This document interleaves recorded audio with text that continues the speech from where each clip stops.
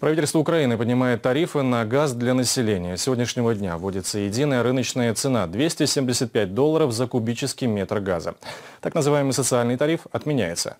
Украинские семьи с расходом газа до 200 кубометров в месяц имели возможность платить всего 144 доллара.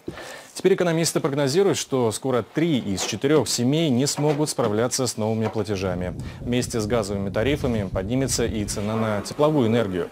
Премьер-министр Владимир Гройсман заявил, что поэтапное повышение коммунальных тарифов до рыночного уровня предусмотрено соглашением с МВФ.